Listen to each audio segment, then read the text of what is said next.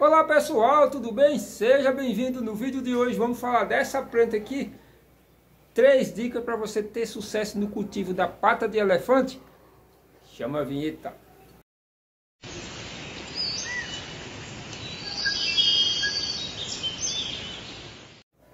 Então, gente, vamos falar do cultivo da pata de elefante. Olha que espetáculo, pessoal. É uma planta muito bonita mesmo.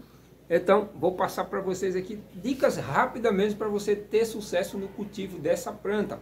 Primeiro, pessoal, é uma plantinha que ela tem essa batata aqui, ó, que é bem grande. Então, molha ela pouquíssimo, pessoal, que isso aqui é cheio d'água, viu? Ó, é cheio d'água. Então, molha pouquinho ali uma vez por semana, enfim, mas não coloca muita água para essa planta não encharcar. Se tiver lá fora, não tem problema nenhum, desde que o vaso tenha bastante drenado, igual isso aqui, ó. Tá certo? Segundo pessoal, é uma plantinha que é de sol.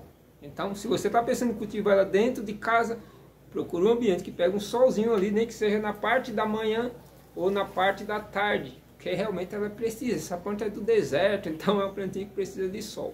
E segundo, gente, olha que espetáculo é essa planta, gente.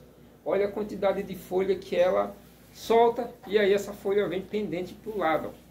É show de bola se ela estiver secando alguma pontinha, igual você está vendo aqui, ó, não se preocupe, é natural dessa planta secar alguma folhinha, mas também é raro, viu? Você vê essa aqui, ó, tá show de bola, pouquíssima, uma pontinha ou outra tá seca, mas é uma planta que realmente é muito bonita.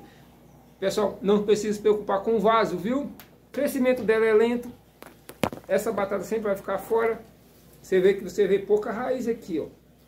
Então, não precisa estar tá trocando de vaso sempre, Pode deixar, eu vou deixar essa nesse vasinho aqui, porque eu quero que ela não cresça muito. E para mim, esse tamanho está ideal, já que eu não tenho espaço. E você aí, tem uma pata de elefante? Já cuidou de uma? Deixa aqui nos comentários pra gente. Esse foi o vídeo de hoje. Até o próximo.